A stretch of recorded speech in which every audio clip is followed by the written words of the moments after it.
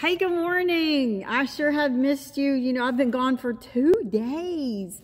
I haven't been feeling very good, but I am feeling so much better today. And I'm so glad to be back with you today and sorry that I missed you. So, we're continuing to learn about when Jesus rode into the city of Jerusalem on a donkey. Does anybody know where Jerusalem is?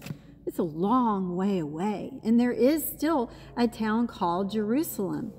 Well, Jesus, remembered, told some of his disciples, some of his special friends, and if you know about his disciples, who knows how many that he had? Does anybody know how many he had? He had 12. You want to count to 12 with me? Let's count to 12. You ready? One, two, three, four, five, six, seven, eight, nine, ten. 11, 12. There were 12 disciples who were Jesus' special friends. And Jesus told two of them, Go into town and tell someone that I need to use their donkey. And they led him. Has anybody ridden on a donkey before?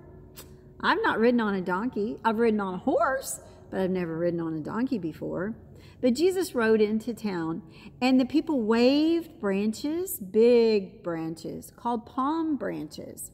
And then they laid them on the ground so Jesus' donkey would ride on top of them to let Jesus know how special they thought he was.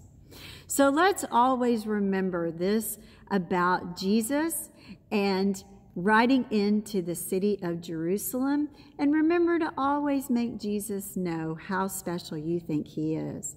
Let's put our hands together and bow our heads. Dear God, we thank you for today, for your love, and for Jesus.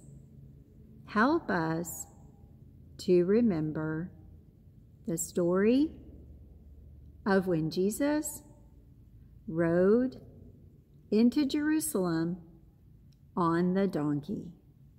In your name we pray. Amen. All right. Well, your Bible verse you should have been singing already. We started, I added it to your playlist for chapel, and so you should be already learning that Bible verse. I'm going to check and see if you know how to sing it. All right, birthdays today. We have several birthdays. We missed Madeline's birthday, which was this past weekend on Saturday, and Finley's birthday, and Gavin's birthday, and Colin's birthday. So let's sing happy birthday today to Madeline, to Finley, to Gavin, and to Collins. Are you ready? Here we go. Happy birthday to you. Happy birthday to you.